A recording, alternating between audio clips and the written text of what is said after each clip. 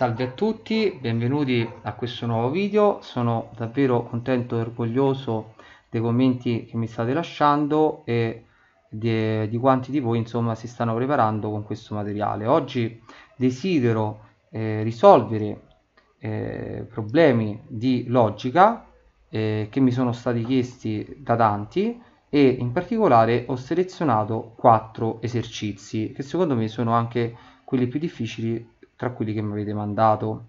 Allora, il primo di essi afferma questo. Carlo vuole creare una successione, una successione. Allora, non diamo nulla per scontato.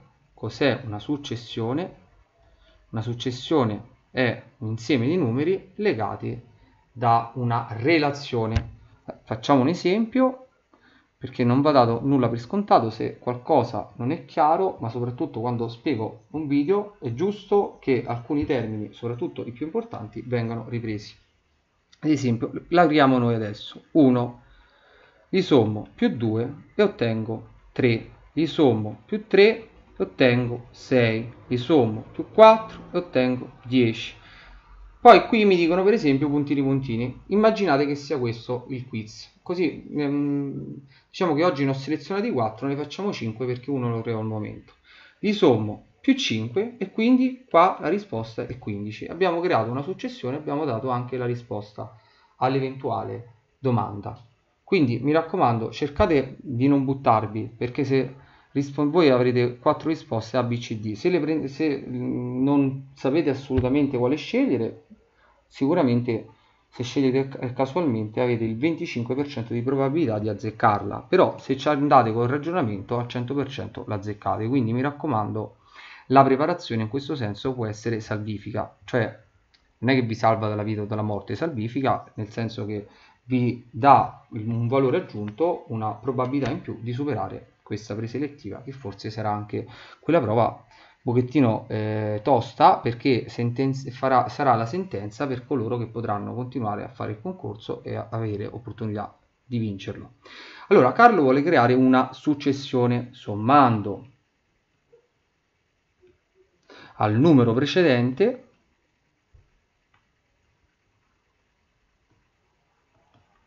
la sua metà. Costru cominciamoci subito a costruire uno schemino se il numero precedente, ad esempio xn-1, poi ho xn, xn più 1, cioè questi sono tutti i numeri che ho simboleggiato, xennesimo che cosa che cos'è xennesimo? Devo prendere il precedente, devo sommare al precedente la metà del precedente, quindi sarà xn-1 più xn-1 mezzi. Cioè devo prendere il numero che sta esattamente prima di x con n, lo devo prendere e gli devo sommare la sua metà. Questo mi sta dicendo. Banale, no? Se il valore, se il primo valore inserito nella serie 1, quindi il primo valore inserito nella serie 1, meno 1, scusate, il primo valore inserito nella serie è meno 1 Il quinto termine che segno avrà e quale sarà il suo valore? Quindi trovare il quinto termine. Sintetizzo, tanto ha lo stesso valore.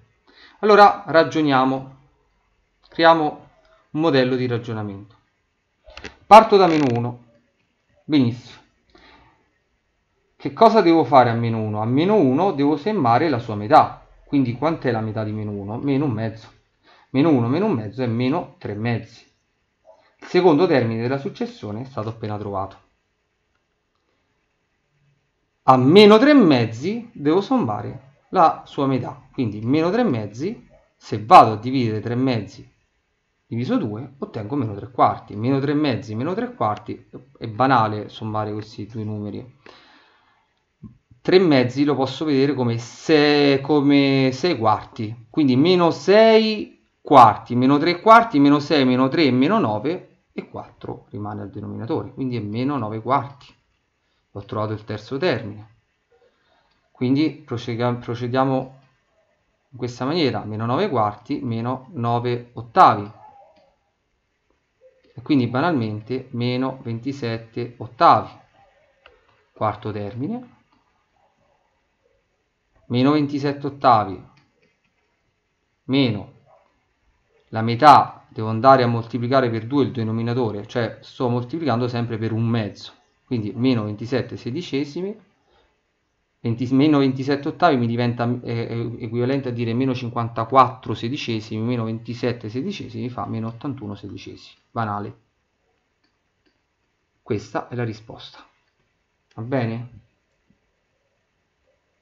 Ok, andiamo al quesito successivo. Allora, che dice? Alberto vede due fulmini cadere a poca distanza. Alberto vede, scrivo 2 col numero, 2 fulmini cadere a poca distanza.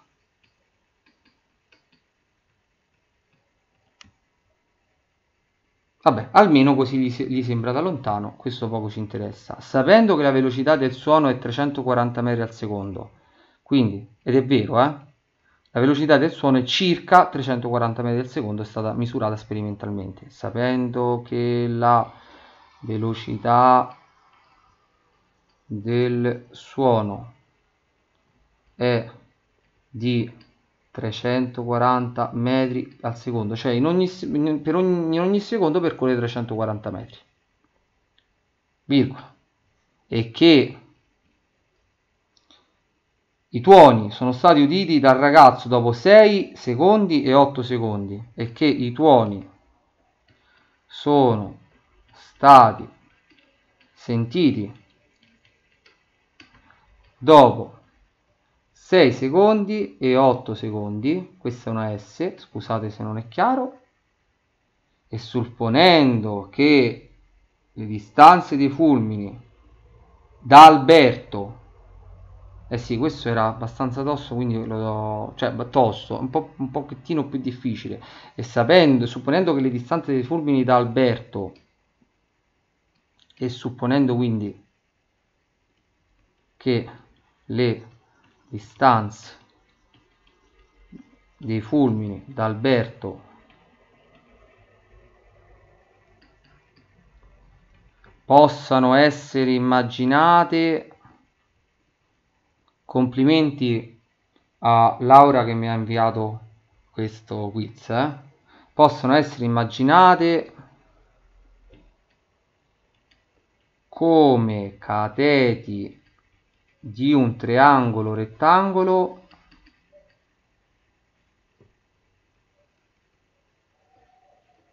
quale sarà la distanza tra i due fulmini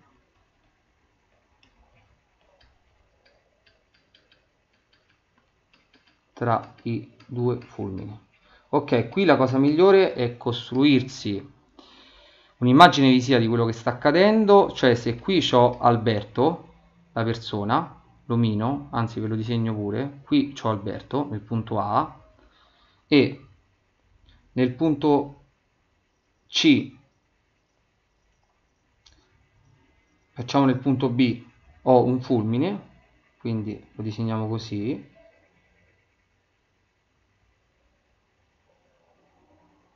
e in C ho l'altro fulmine, questo è il cateto 1, il cateto 1, questo è il cateto 2, questa è l'ipotenusa e ci chiede la distanza tra i due fulmini, quindi ci chiede il segmento BC. Qui in effetti è una, do una domanda un pochettino difficile, ma difficile perché? Perché vi richiede la conoscenza, però penso che molti di voi se la ricordano, del teorema di Pitagora che dice che la somma quadratica dei due cateti è uguale all'ipotenusa al quadrato, cioè i quadro, l'ipotenusa al quadrato è cateto 1 quadro più cateto 2 quadro, oppure l'ipotenusa è la radice quadrata della somma quadratica dei due cateti. Ok, premesso questo, ci dobbiamo calcolare la distanza tra il primo fulmine e Alberto, la distanza tra il secondo fulmine e Alberto e a quel punto le leviamo al quadrato e ci facciamo, le sommiamo e ci facciamo la radice. Allora, banalmente, quindi la distanza C1 è data da, se sono passati 3 secondi, devo fare eh, 6 secondi, 340 metri al secondo per 6 secondi. I secondi se ne vanno, 340 per 6, quindi 3,4 per 6 è, mettiamo lo prossimo, circa 2000. 2000 mettiamoci direttamente 2 km. Il cateto 2 Ah, perché dico circa 2000? Perché se poi se esce 2,01, 2,02, 1,99 approssimate, perché tanto poi eh, nei testi eh, dei quiz eh, troverete spesso anche un'approssimazione, non, non, non ci sarà la seconda, terza o quarta cifra decimale. 340 metri al secondo per 8 secondi, viceversa fa circa 2,7 km.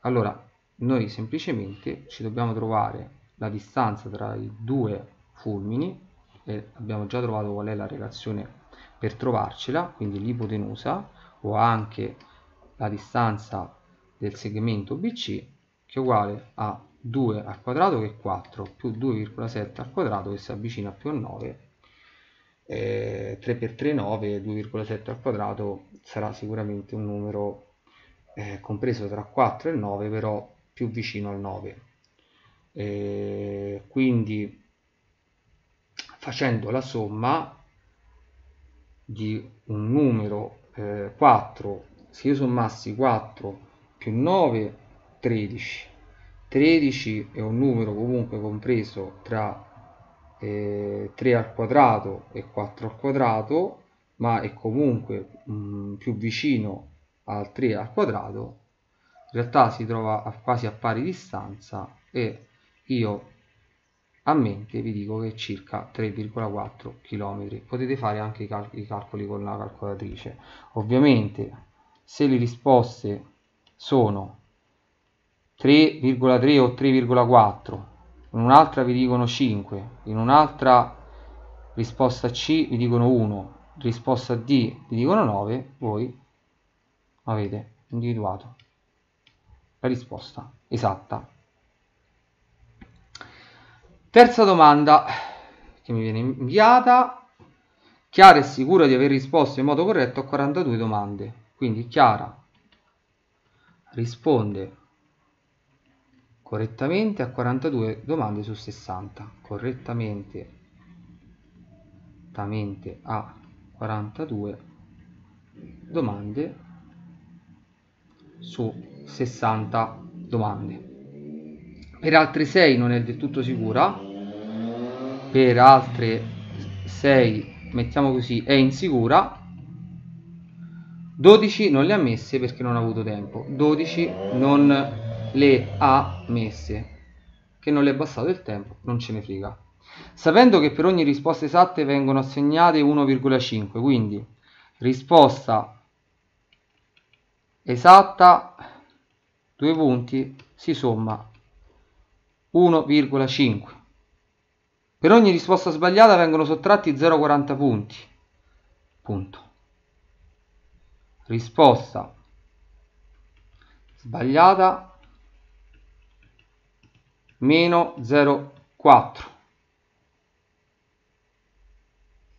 Per ogni eh, domanda senza risposta veng vengono dati 0 punti. Quindi nessuna risposta più 0. 0 è l'invariante dell'addizione, quindi il punteggio non cambia. Quale potrebbe essere il punteggio massimo e quello minimo raggiunto da Chiara? Beh, qua è abbastanza facile. Punteggio massimo è che eh, nelle 6 dove è insicura le azzecca tutte, cioè le 6 dove pensa di aver fatto bene o aver fatto male vanno tutte bene, perché alle 12 noi siamo certi che a 12 non ha risposto, su queste non ci possiamo fare nulla, quindi al massimo che cosa ottiene? Ottiene 42 per un mezzo, 42 le risposte esatte per un mezzo, più 6 per un mezzo. Mettiamo possiamo mettere in evidenza un mezzo, 42 più 6 è 48. E 48 per un mezzo fa 72. Questa è la risposta massima. La risposta minima, scusate, non è la risposta, è il punteggio massimo. Scusate, sono un pochettino stanco. Allora, ovviamente le 42 esatte, queste non si toccano. Se le sbaglia tutte e 6, quelle dove è insicura, questa volta li devo sottrarre per ognuna di esse 0,4, quindi meno 6 per 0,4. A questo punto non posso mettere in evidenza l'1,5, quindi 42 per 1,5 è 63, meno 6 per 0,4, anche qua potremmo approssimare, però dai, mettiamo il 6 per 4, 24 e 2,4. Quindi 63 meno 2,4 è 60,6 che è circa 61 eh, ripeto, a volte non ce le mettono le cifre decimali, quindi ovviamente se trovate la risposta 72-61, questa è la risposta esatta. Io volutamente non vi sto mettendo le risposte, cioè ci sono queste risposte, però per brevità, eh, siccome a noi poi ci interessano i calcoli, eh, io sto andando direttamente alla parte del ragionamento. 4 vado a gruppi di 4 nelle domande eh, che mi fate, nel, che mi state inviando perché non voglio fare dei video troppo lunghi e come avrete notato cerco di accorpare le domande per eh, classi omogenee, cioè eh, metto le domande relative magari a questioni burocratiche insieme, domande relative alla eh, logica insieme, domande relative alla metodologia, metodologia didattica insieme, così nel video io vi inserisco direttamente l'argomento che andrò a trattare e se è di vostro interesse voi ve l'ascoltate. Eh, io penso che per chi deve fare la preselettiva e si deve preparare al test, quasi tutti gli argomenti trattati sono, possono darvi un valore aggiunto, anche perché eh, quando eh, comprate i libri, non vi danno tante spiegazioni, non vi approfondiscono la teoria e quindi secondo me non è la stessa cosa. Sicuramente il libro può essere utile per chi già sta parte da uno stadio avanzato, per chi ha un po' d'ansia, un po' di paura e non sa che eh, direzione prendere, sicuramente guardare questi video lo può aiutare. Domanda del test, il costo totale di una gita scolastica con 27 partecipanti quindi il costo totale della gita, lasciamo perdere scolastica così ci sbrighiamo, con 27 persone, persone è prima il più corto di partecipanti, richiede una quota di 500 euro, quindi diciamo costa 500 euro a persona, vabbè, cada uno, a, scriviamo persona, a persona. Punto. Una settimana prima della partenza due studenti decidono di non partecipare. Non ci frega quando, due studenti, dopo, prima ancora che bisogna pagare, decidono di non partecipare. Punto. Quanto dovranno ancora versare gli studenti per coprire le, le, quote mancanti? Perché i due che decidono di non partecipare, in questo caso sta dando per scontato che questi due non hanno versato nulla o se hanno versato i soldi gli vengono ridati insieme, gli vengono ridati e quindi 27 persone ne rimangono 25, le 25 devono sopperire alle 1000 euro mancanti due studenti che decidono di non partecipare. Quindi quanto dovranno ancora versare gli studenti per coprire le quote mancanti? Come possiamo dire velocemente? Quanto dovrà sborsare ognuno degli studenti rimasti ok allora se costa 500 euro a persona. E sono 27 ovviamente bisogna fare 27 per 500 euro. Il che fa 7 5 eh, 13.500 euro. Ok? Questa è la quota da versare. La quota che manca, perché due studenti si ritirano e non partecipano più, è 1000 euro, ma questa quota va divisa per coloro che sono mancanti. Quindi mi raccomando, non fate 1000 diviso 27, ma è 1000 diviso 25. Cioè, per le, viene divisa per eh, coloro che vanno in gita. Quindi 1000 diviso 25.